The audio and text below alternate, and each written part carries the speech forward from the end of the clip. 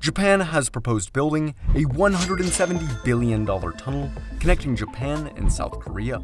The proposal was first introduced in the 1940s by Imperial Japan to connect itself to its territories and Allied Germany.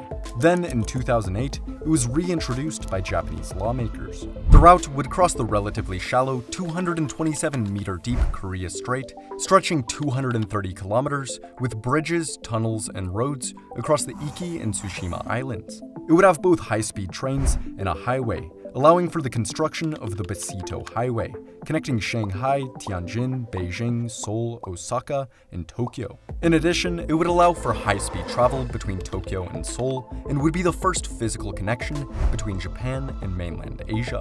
However, it would cost a ton, South Korea and Japan use different rail gauges and drive on different sides of the road, it wouldn't benefit Korea that much, and passengers going to Asia would be blocked by North Korea.